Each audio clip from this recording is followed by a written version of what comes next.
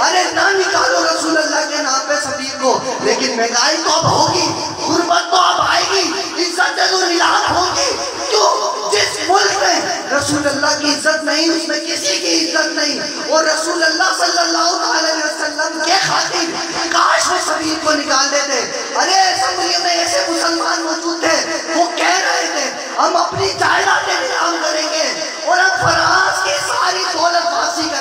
اور رسول اللہ کی جو بے حرمتی کری ہے، اس کا احتجاج کرو۔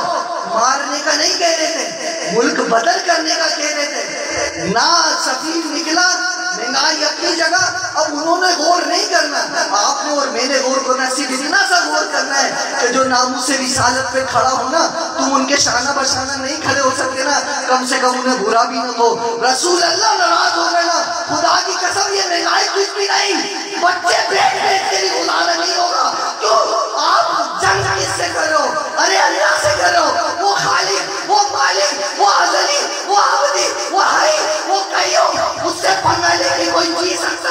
سکتا ہے جی ہی نہیں پیدا ہوتا پوری کائنات اللہ نے حضور کے سر سے تو بنائی جب حضور کی عزت نہیں ناموس پہ پاسداری نہیں تو پھر کچھ بھی نہیں اگر آپ نے اپنی روزیوں میں برکت کرنی ہے حضور کی ناموس کی پاسداری کرے ارے رسول ہے بھی تو کیسے تمام انبیاء کو جو فضائل ملے جو مناقب ملے جو فضیلت ملی مقام ملا مرتبہ ملا حیثیت ملی خوشحالی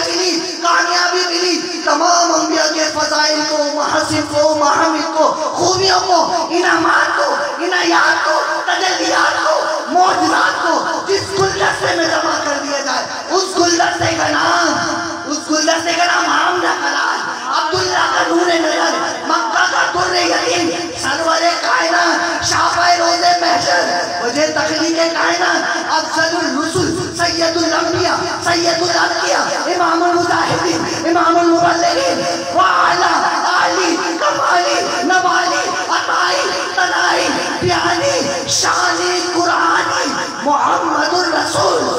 صلی اللہ علیہ وسلم، منبر، معطر محذر معزز عرفہ اعلیٰ کامل اللہ اکبر، کبیرہ، وہ نبی جس میں آدم کا خلق شیش کی معرفت نو کا جوش تبلیغ، ابراہیم کا بلبلہ توحید، اسماعیل کی رضا، اسحاق کی رضا، اسماعیل، یوسف کا حسن، موسیٰ کا جلال، ہارون کا جمال یعقوب کی تسلیم و رضا داؤد کی آواز ایوب کا صبر یونس کی اطاعت یوسف کا جہاد دانیال کی محبت الیاس کا وقار اور عیسیٰ کی پاکی سلیمان کی سیاحت ورفعنا لک ذکرک ورفعنا لک ذکرک ورفعنا لک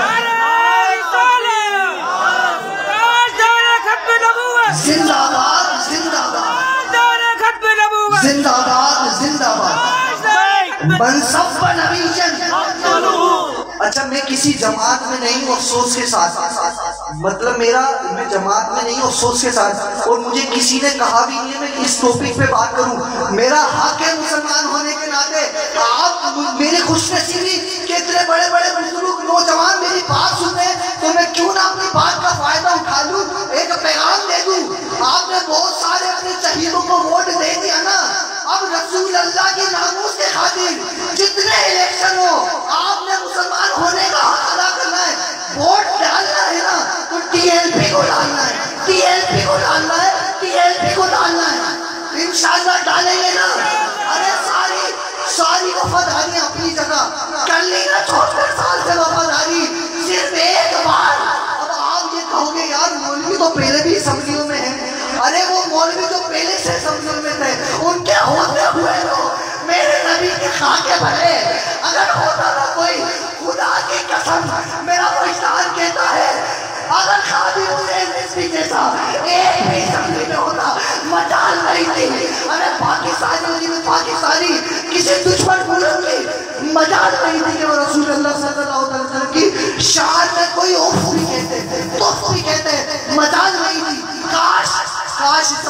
اسمبلی میں ایسے مولوی چلے جائے۔ اور افسوس ان کمیٹی والوں پہ پورا نہ ماننا۔ مسجد بنی کس لیے؟ رسول اللہ کے دین کے لیے نا۔ وہاں مولوی صاحب، ہمارے امام صاحب، اگر رسول اللہ کی بات ممبر پہ کر دے، تو کچھ دو چار مولوی، دو چار بڈے کمیٹی میں جاتے بولتے یار، نماز پڑھانے کا کام ان کا کیا سیاست میں پڑھ لیں ارے ہاں دے تمہیں اللہ نے توفیق دی، مسجد کی خدمت کرو۔ جہاں سے دین چلنا ہے، وہیں تم تالے لگا لو، امام صاحبوں کو نکال دیا، امام صاحبوں کو نکال دیا، وہاں